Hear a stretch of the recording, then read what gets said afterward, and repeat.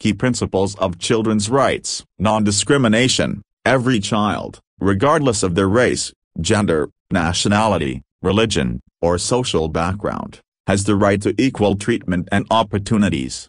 Best interests. Decisions concerning children must prioritize their well-being and best interests. This principle guides policies related to adoption, custody, and child protection. Right to life and survival. Every child has the right to life, adequate nutrition, health care, and a safe environment that enables their survival and development.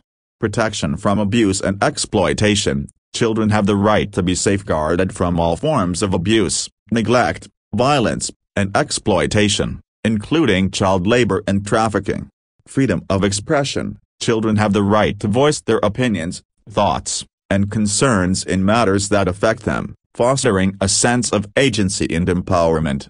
Education. Every child has the right to education that is free, compulsory, and of high quality, providing them with opportunities to reach their full potential.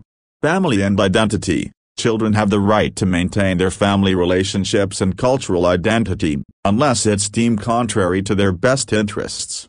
Play and leisure. Children deserve opportunities for play, leisure, and recreational activities, promoting their physical, mental, and emotional development.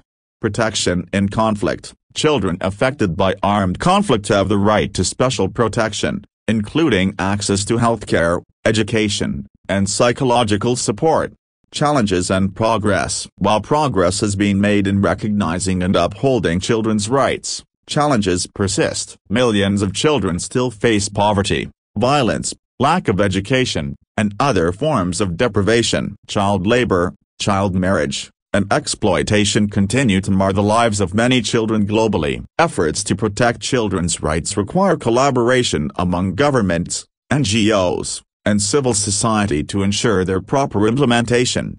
Conclusion Children's rights are not just the legal framework they represent a moral imperative. A society that respects and upholds the rights of children paves the way for a brighter future. By investing in their health, education, and overall well-being, we are nurturing the potential of the next generation and building a foundation for a just, compassionate, and equitable world. The realization of children's rights is not only a matter of legality it's a reflection of our commitment to creating a world where every child can flourish.